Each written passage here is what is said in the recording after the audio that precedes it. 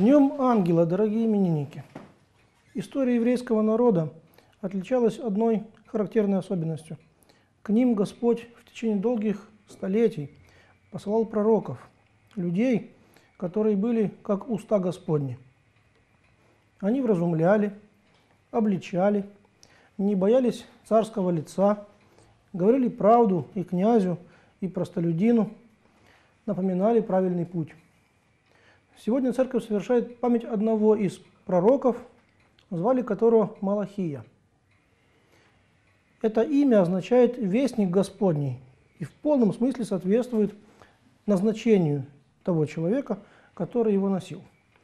Пророк Малахия был, по словам святых отцов, печатью пророков, потому что он был последним в ряду ветхозаветных посланцев.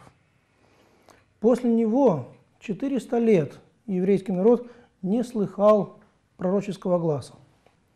400 лет – цифра сопоставимая, в общем-то равная э, числу лет, которые провели евреи в египетском рабстве, находясь в народе незнаемом. Вот от Иосифа праведного до Моисея прошло ровно столько лет.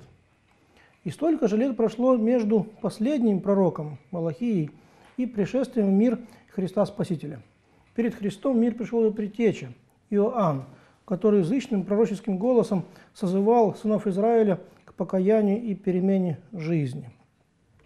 В книге пророка Малахии есть много вещей, которые касаются и нас.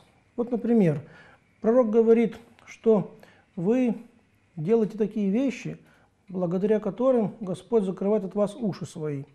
И спрашивали еврея, что же мы такое делаем? Вы оскверняете супружеское ложе, вы вероломствуете женами юности своей, и из-за этого Господь Саваоф не слышит ваши молитвы. Это вполне относится к сегодняшнему нашему поколению, потому что когда мы молимся и спрашиваем, а что же Бог не слышит? Пророк Малахий отвечает нам, ты вероломно поступал с женой юности своей, а Господь был между тобой и ею свидетелем.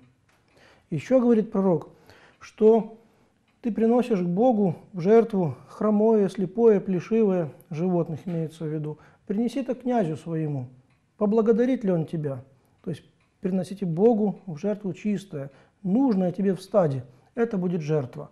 Тогда проверьте меня, у вас еще старое не съестся, а уже появится новое. Много полезных вещей, говорят пророки.